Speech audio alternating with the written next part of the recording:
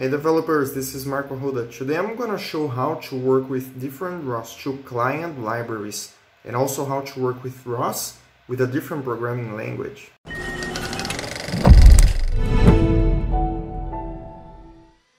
As usual, I'm to use the Construct platform. If you don't have an account yet, you can create one for free just following up the sign up link and start using it for free. So you can have a copy of the project I prepared for this demonstration. Press the run button and you're gonna have the project ready in a few seconds to start working. Basically, ROS client libraries are the libraries provided in different programming languages uh, that makes available for you uh, ROS interfaces. Okay, so uh, let me reopen my Jupyter notebook. The most common used are the libraries for C++ and Python, but in this example I want to show you how to work with Node.js because uh, ROS uh, has the official ones which are maintained by the ROS core team for C++ and Python, but there are also other libraries uh, maintained by the community for Java and Android, for example, Objective-C, C Sharp, Swift, Rust, and among others. So in this case, I want to show how to work with Node.js. So we have an, uh, a working example, but I want to do it from the scratch, so we can do it together. We don't uh, we don't need to use a CLI for this demonstration, any kind of CLI. Uh, so because of this, uh, I'm going to start creating a Node.js package. And in order to do so, it's important that we are working with the same ROS version. So before anything else, uh, follow up this link here and install the ROS, uh, the Node version manager.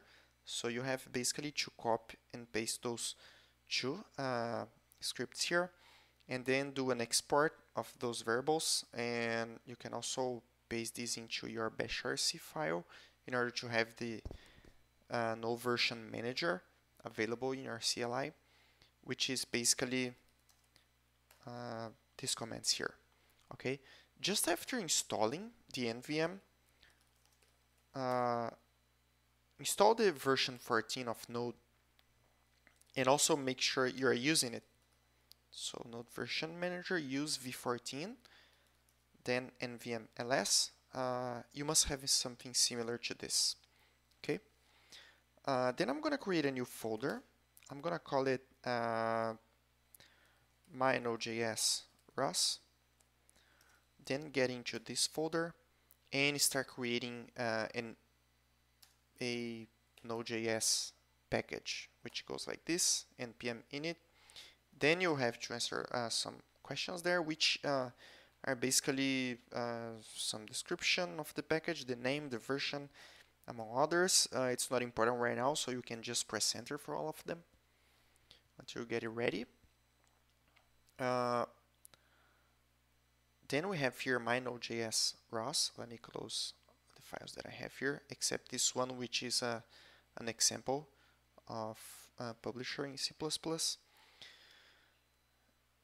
And our Node.js package has just a single file, which is the package.json file. This file is responsible to uh, to save dependencies, some other information about the about our package, and also some of the scripts that we may have available to run there from the package command. Uh, but in this case, uh, we're not going to use it so far.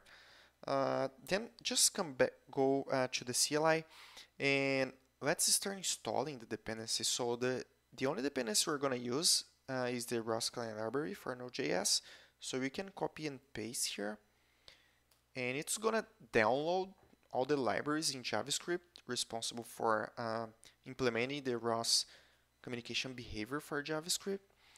And there is an interesting part which is uh, generating all the messages that we have available in our ROS environment, it's to create the, uh, the definitions in JavaScript. So if you go to the Node modules folder, you're going to see the dependency folder here, which is uh, RCL Node.js, there's a folder called generated. And all the messages that we have available in ROS environment are going to be here. Okay, so uh, you can uh, check after the installation. And actually, you're going to recognize most of those packages because they are common package that we use to work with in ROS.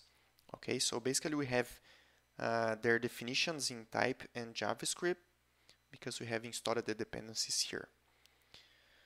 Okay, great. So now we can create a new file. I'm going to call it index.js inside our, inside our node package.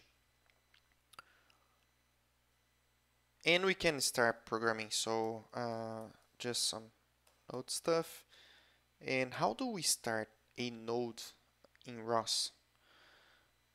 In C++, for example, we start importing the ROS client library and it's very similar in Node.js. So we import it like this. And the good news is that Node.js has also auto-completion in our IDE. So you can see everything that is available in this ROS client library uh, for Node.js. Okay. Uh, then I'm gonna define a new function, main function, like this.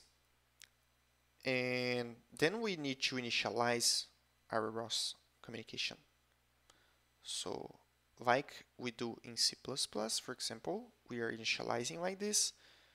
We also need to initialize here. And then in Node.js, this uh, it returns a promise, which means that we need to go to the callback of this function, which is actually uh, the resolver of the function, and then we start programming from here. Okay, uh, if we have any errors in the meantime, we want also to display what is going wrong. So let's put a catch there. And inside the, the promise resolver, uh, we can start creating our node. So as you can see, we have here this line of code that is defining the node name, which is also very similar in C++, where we are creating the node. So uh, const node equals to rcl node.js node, and this is a new node. Then I, the parameter is the name of the node, so I'm gonna call it, uh, let's put it node.js ROS node.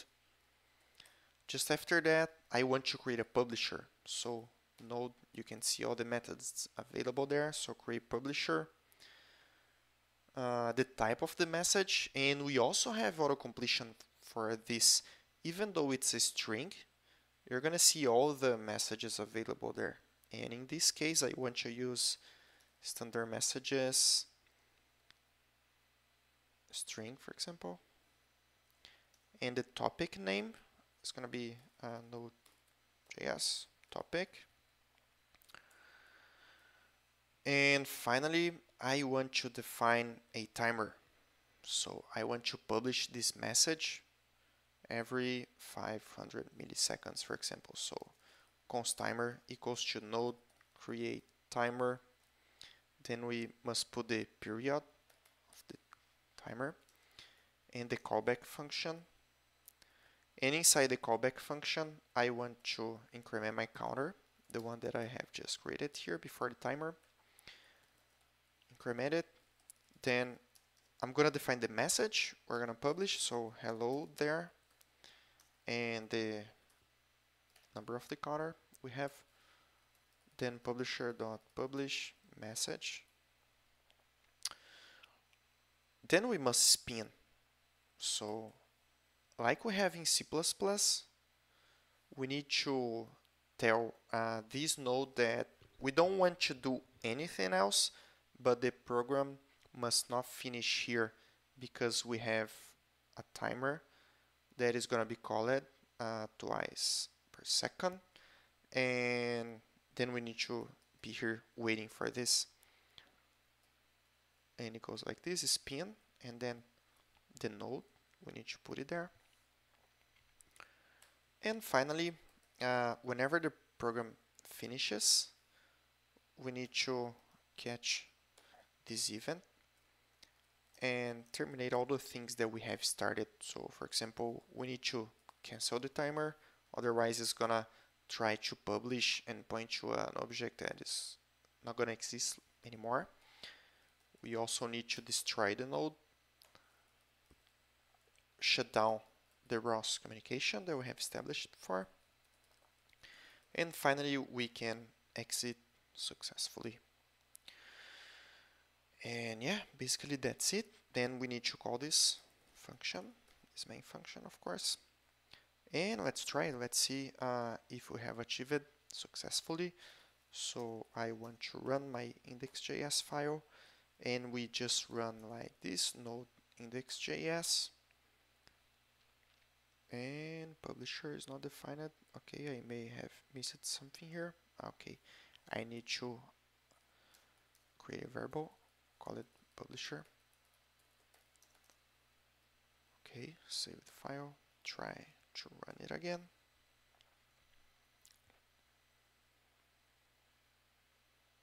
And in another terminal let's see what we have there. So uh, ROS2 node list. And I have my Node.js ROS node.